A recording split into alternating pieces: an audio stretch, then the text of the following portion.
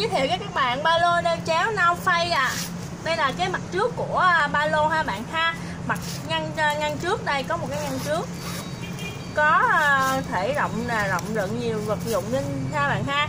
Rồi đến ngăn chính. Đây ạ. Ngăn chính thì có ngăn riêng đựng vừa được máy tính bảng 7 inch đến 10 inch luôn nha bạn. Này rồi đây là mặt sau à mặt sau có một cái ngăn nhỏ để bạn ờ, để rất là nhiều đồ nha bạn ha. Tiện dụng. Ở ở dưới đấy còn có cái cái ngăn để bạn có thể cất được cái quai đeo chéo. Quai chéo có cái khóa càng cua này có thể tháo mở rất là dễ dàng ha bạn ha. Đây à, à cái quai, quai đeo rất là dày chắc là thấy không? Rất là dày chắc. Cái quai sắt cũng vậy như vậy nha các bạn. Ừ. Đây mình ờ, đây là khóa kéo ờ, IKK nha. Khóa kéo của ba lô này là khóa IKK khóa IKK rất là là là tốt các bạn. Đây có chữ IKK ở đây nè. À, đây là toàn bộ tổng quan về cái ba lô này. Dạ xin cảm ơn.